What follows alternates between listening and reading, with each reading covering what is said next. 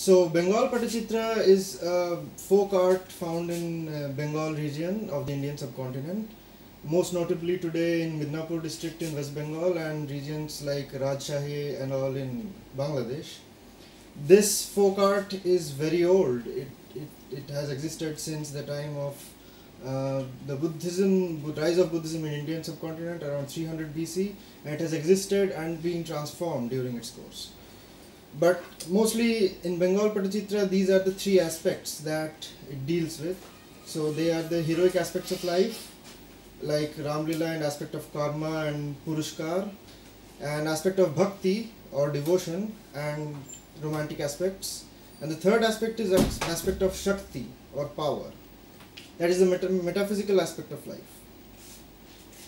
So our presentation is divided into three analysis, the semiotic analysis, the iconic analysis and thematic analysis. So let's move on with the semiotic analysis. So here, uh, here are some salient features of this uh, of this folk art. The first feature being that this tradition has bold use of colors. By bold use, I mean they use colors of seemingly discorded nature and they use it boldly throughout different parts. For example, here both pink and blue has been used against a background of red. And here again blue and white stripes are present. Again here a white background is present and the main object these leaves are made of green sap green. Here it is pink. A more more common composition of colors would have been a white or bluish background at the back over here a green object and a white petal or something similar. The next thing is their shapes are mostly organic.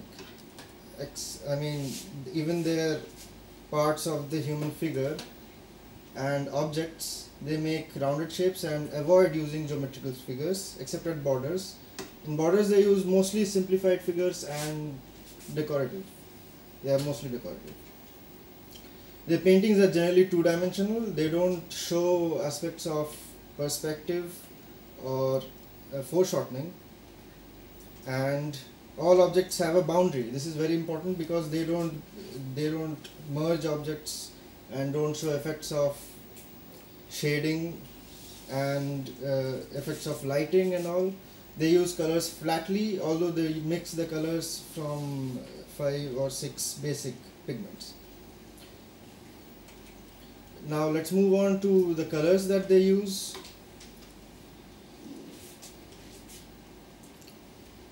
Now all colors are extracted from natural sources. They don't use artificial colors traditionally. And they are extracted from either vegetable sources or earth sources or mineral sources. And there are five basic pigments and all other pigments are mixed from them at different combinations. They are white or sankha, yellow or hingula, black or kala, brown or dhau, or indigo or blue or nila. Now the gum which is obtained from wood apple or the kapitha tree is mixed with the colors in a coconut shade and applied to give a glossy effect and an overall protective coat. Most paintings are done on done on palm leaves, coarse cotton and fabric and on and on tussar silk. Now on figure, most figures are simplified and these figures resemble the trend of, that is found in classical Egyptian or Mesopotamian figures.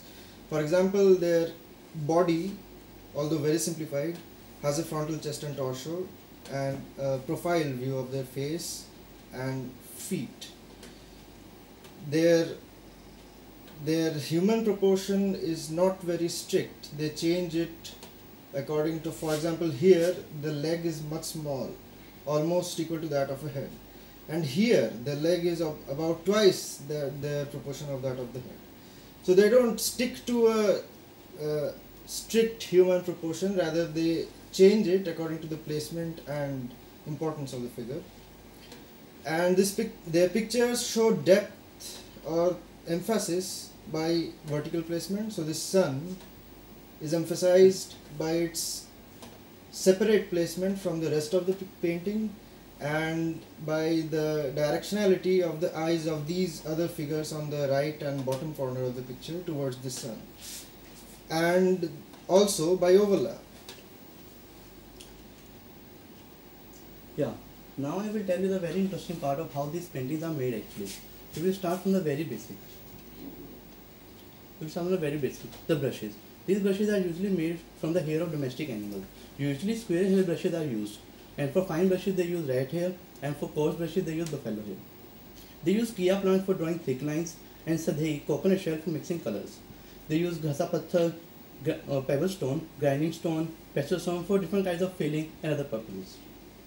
Now, now the most important part, the base, the canvas. The canvas is prepared by the artists themselves. The cloth, which is usually made of tussar silk, is coated with soft, fine white chalk stone powder and glued with a glue made from tamarind seeds. Sometimes they also add rice powder to give stiffness. Now this preparatory work is quite arduous and this is left for days to develop tensile strength and semi-absorbent surface. Now the cloth is trimmed from the sides and cut to required sizes. Now the coloring part. Now it is a tradition to paint the border first. Though you will be fascinated to know that there is no use of pencil or charcoal for preliminary lines. Next, the main figures are painted and drawn and the red background which is also known as Pehli Rang Bhara or first coloring is done. And then the figures are completed and the decoration stuff like giving a pen work feel is given. Now the final step is the protection. This For this the painting is held over charcoal fire and lacquer is applied.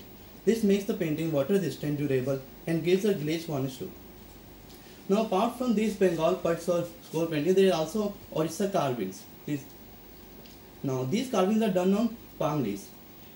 These carvings are very delicate. These carvings are so delicate that even a small break would mean that the artist had to start from the start from the scratch and discard the whole thing. Uh, the detailing is quite fine and a black dye is applied afterwards. Uh, these carvings are even coin sized, so it is, and then it is unfolded on this stuff. And the other form also include painting wooden bottles, boxes, bowls, toys, toys, and wooden doors. Coconut shells and ganjifa as playing cards also painted. Chitrapothis, which is nothing but basically uh, painted palm leaves stacked over one another with the help of the string. Now in iconic analysis, we would like to start with choice of subject. Uh, the main subject of Bengal Chitrapata has always has been ancient gods and goddesses and the life events and story related to the gods. Like uh, in Odisha Patachitra, they have shown uh, uh, Indian gods in traditional in traditional positions. In Bengal Patachitra, they depict a story of uh, uh, the gods and goddesses uh, by showing scrolls and singing songs to narrate the story. They have also in- included modern trends of civilization and problem of society like tsunami and AIDS control and pulse polio to increase our awareness of the society. Now for presentation of images, Bengal Chit- Patachitra is very colorful. Like they use very glossy and very bold colors. Uh, this makes the uh, this artwork very very soulful and very catchy and dynamic. And the human figures uh, have very strong facial expression. Uh, this strong facial expression helps the viewer to relate easily to the situation or emotion of the figures. And third, use of contrasting colors. Uh, Bengal Patachitra use contrasting colors to gain focus. Uh, when they, they want to show dominance or the importance of a certain character, they would uh, they would color the figure with contrasting color like red with black or green with blue, and that that immediately makes that part the center of focus. So uh, it uh, it is clearly it can clearly be related with the focus and the importance of the figure. And third, positioning and orientation of figures. Like Bengal Patachitra uh, use the central placement of the dominant figure. Uh, the pencil figures are mostly placed centrally and the other less important figures are placed randomly. Like in Odisha Patachitra, they were governed by the empress and authority, so they use the concept of ma- mass balance. But in Bengal Patachitra, they were free and they do not use any concept of mass balance and color balance. So it clearly shows the sense of freedom in this artwork. Now, uh, the emphasis on principal figures. Bengal Patachitra emphasize only on principal figures and the background is not given with much details. And the orientation of figures depends on the event going on in the certain scroll, but mostly they show a side profile view to give maximum details and it also generates a sense of movement in the artwork. And lastly, Bengal Patachitra has a very vast influence of uh, uh, time periods and cultures and religions. So we cannot fit it into a single style of figuration, but mostly it use narrative style of figuration. So Let us now go through the thematic analysis of the Bengal Patachitras. Uh, the Bengal Patachitra tradition is going on for ages, and so the themes are related mostly to epics like Mahabharata, Ramayana, and other historical folklore. They basically try uh, to convey historical facts and human civilization, human culture is emphasized in the Patachitras. Patuas have expressed a viewed, viewed lifestyle of the Bengalis through the Patachitra. They have tried to show the life of the common man uh, in the form of their art. One of the uh, one of the other importance of the Patachitra is that uh, they have been very essential to educate rural populace regarding various things that are happening during that era. Virility based on Karma Yoga and ancient lifestyle expressed in the Ramayana Pata. Deep spiritual and philosophical truth is conveyed via Sakti Pata. Wavelength of spiritual loves vibrated through the Krishna Leela. We'll now uh, try to find out what are the latest emerging trends in the Patachitras. So, uh, in the recent times, Patwas are playing a great role in creating awareness in the society. They have been using points, uh, they have been using their Patichitra to point out evil sides of many social rites that have been prevalent in our country and also the customs and political abscesses that are present in our uh, country. They uh, have started to use contemporary events as their themes and they have also painted uh, like the freedom movement, uh, the steamer, or the very contemporary event of, of, brutal murder of a taxi driver by a female. That's a theme on which uh, Patichitra has been painted, and also like the advent of Kalikal and etc. Patichitras also have entered the international arena. They are no more uh, li- uh, limited to our country. They have they have been uh, shown in various international festivals that have been conducted all over the world. They have depicted the role of disarmament.